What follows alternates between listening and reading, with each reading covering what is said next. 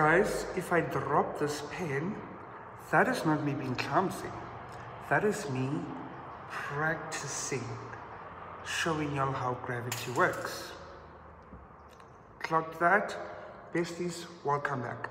In today's video, we are discovering things about physical sciences that we are not supposed to do in our final NSC exams so that you can secure very, very good marks in Friday. Are you guys ready? Awesome. So as we know, physical sciences, that's where it really goes down. Do you prefer paper one or paper two? I know I prefer paper one. Paper two used to throw hands. That was me and paper two. Okay, let's start with the common mistakes that learners tend to make. And the first one, exam guideline. A lot of learners do not use their exam guideline. And remember, definitions for physical sciences will only be marked correct if they come from that exam guideline. So go and download it now. Go and download that exam guideline now. If your definition is not from the exam guideline, I don't need to say a lot. I do not need to say a lot. Remember, as much as it's important for you to memorize these definitions, that's a free 20 mark for you. However, understanding them is also as much important because sometimes, actually, most of the questions in that paper will be testing your application of those laws and definitions. When you're calculating in newtons, you are applying the theory of Newton's laws. That is what you're doing. So if you do not understand it, it's going to be very difficult for you to apply it. And then another one that a lot of learners tend to struggle with, it's a vector and a scalar. Besties, vector and the scalar are not the same thing. One only has, okay, let's talk about the laws first. First, second, third, go and memorize these like your life depends on it. And remember, remember that these three laws come from the same idea, but the gravitational one is very, very important because you know that's where they're going to catch you. That is where they're going to catch you. I want to tell you something. Another thing, a free body diagram. Most likely a free body diagram, they will ask you of something on an incline, and that is where they try and catch you. The number of marks tell you how many forces are supposed to be there. And your direction is going to be very important. So for example, if there's a box and then I'm pulling it, I'm in my Bruno Mars area. You know, Bruno Mars post that, I think it's his keyboard on the road. I hope I'll get that picture. You pull it and then you push it. Yeah, you pull it towards you. Then that force is going to be at the, get it? Can be very important. So it is very important that you understand. If something is on an incline, do do the forces accordingly.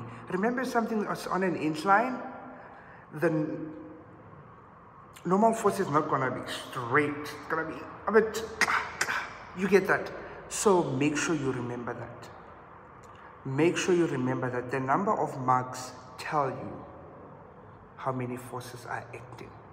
Now let's talk about simultaneous equation. People claim to know how to do simultaneous equation until it comes to paper one. Typically, acceleration or tension, they will ask you to calculate it and you would require a simultaneous equation. Go back. I want you to listen to this video and remember me when you finish writing. Go back to your grade 11 physics notes. There are things there you can't find in grade 12 notes. Go online and find them now. See that new statistics, uh, static friction, go back. The coefficient, go back. Go back. This is the last time you're writing physics. Awesome. So, make sure that your diagram is okay. Simultaneous equation, think of the forces and the directions. Your, but your free body diagram will guide that. Okay? And then also think about your answer. Does it make sense?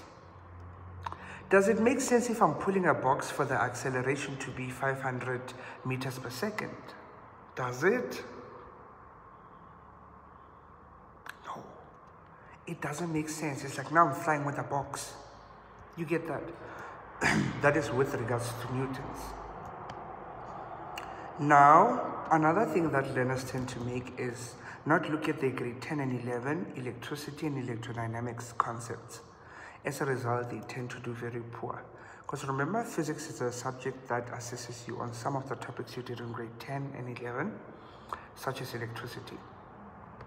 Another one, the enemy of them all, graph interpretation, especially when it comes to vectors. Uh, um, that is one topic where learners tend to struggle with visualizing the scenario when they are given a graph. Go and practice at least two graphs, a velocity time graph, try and practice them, and also know how to plot one if you are given a scenario. Very, very important.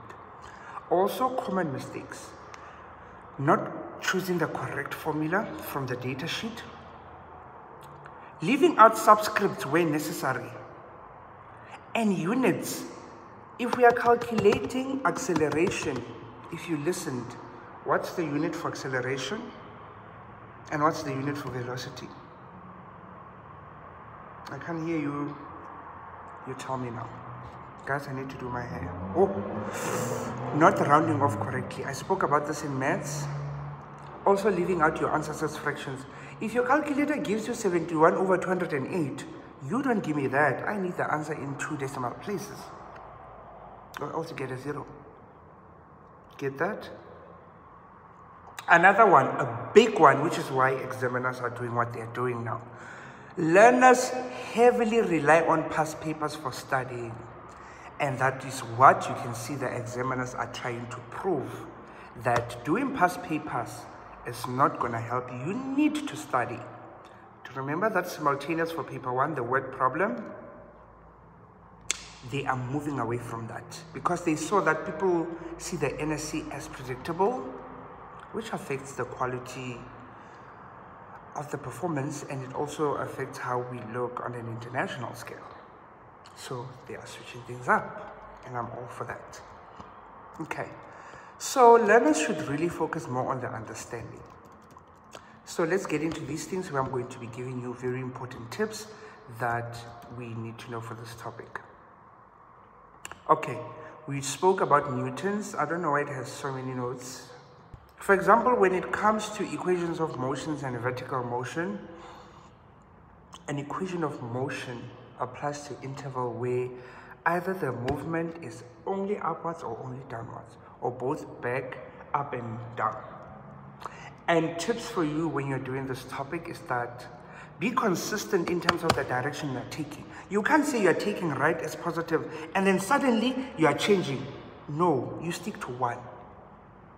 And then also list the variables. That is something that used to help me when this topic used to throw hands. Write down what you're given. Acceleration, question mark. Time, we have this but also think logically. If they tell you it went up and down at the same speed, maybe and then they tell you it took 12 seconds, how long did it take to go up? Think about these things. And then solve for the variable that you don't have. Then you identify the formula to see which one has the variable I need. You get that? Very, very important. So write them on the sides and then start finding a formula. Very, very important. Choose a direction. If we are saying upwards is positive, remember, gravity, yeah, pants goes down. So it means your acceleration is going to be negative. You idiots get it. If we choose upwards as negative, that means that gravity is going to be positive. You get that? And if you are asked to draw an acceleration and time graph, Zui. They will never ask you that because it's just a straight line.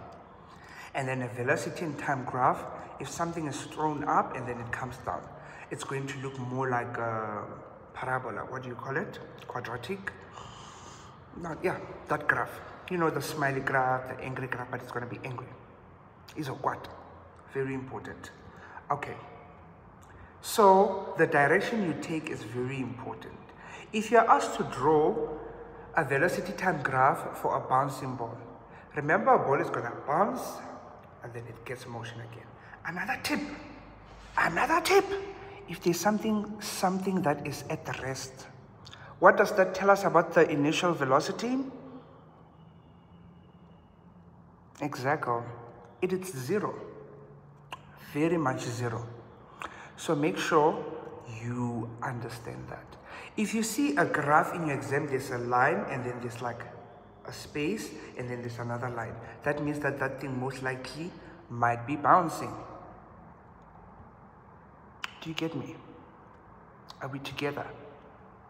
Please make sure you don't predict definitions. Ask last year's matriculants and they will tell you. Don't predict those things at all because you're going to go through it. Collision. Please make sure you know elastic and inelastic. What's the difference between the two? Besties, in this topic, the most important thing I will tell you is that make sure you write down the values of what you have and what you don't have. Conservative versus non-conservative uh, um, work forces. Very, very important. If something is an elastic collision, what does that mean in terms of physics principles? When you calculate what are you supposed to observe, Doppler effect, you need to get full marks. But don't take advantage of this topic. They can ask you simultaneous questions as well from here. Make sure you know how to. And you must know this is a topic you need to do well in. Is the stars moving towards or away from you? That's something you need to know. And remember, they can ask you Doppler in the form of a table. Very important for you to understand. And besties, don't panic. Coulomb's laws, do not panic. Always write down the things you have and remember that in physics there is positive marking. Good luck. I'll try and cover some of these later on TikTok, but I got to go. Bye.